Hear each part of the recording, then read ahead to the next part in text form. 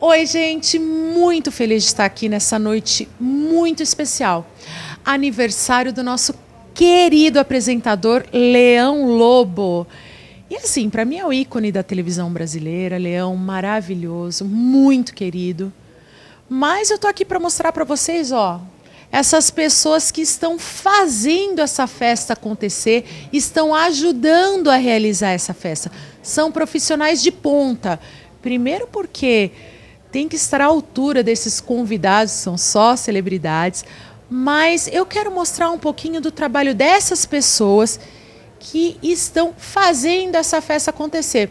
Vamos acompanhar comigo?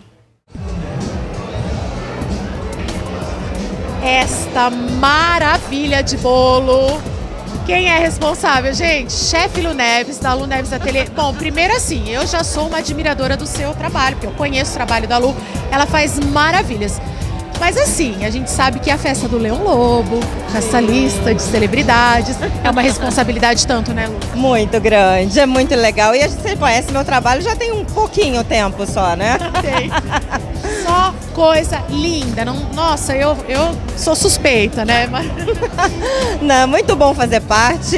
É, ele pediu um bolo inspirado nas mulheres, ele queria as cores em homenagem, né? Que a gente Dia tá Internacional aí. da Mulher. Isso, linda homenagem no aniversário dele pra gente, né?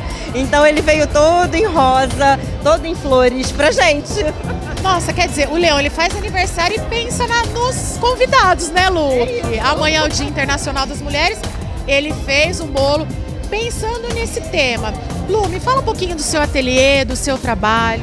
Meu ateliê fica aqui no Brooklyn, eu atendo basicamente casamento, festa infantil também e dou aulas. Então, assim, a gente trabalha muito com projetos especiais, principalmente para noivas. Nossa, é, são coisas maravilhosas, vale a pena conhecer. Lu, onde a gente encontra? Vamos lá, eu acho que no Instagram, Chefe Lu Neves, Vai lá que vocês conseguem ver um pouquinho de todo o trabalho, ter uma ideia e achar todos os meus contatos lá. Bom, eu não vejo a hora de provar essa delícia, né? Mas assim, porque além de lindo, são muito saborosos. Qual que é o sabor do bolo do leão? Segredo, tá? Mas é de prestígio. Ai, que delícia!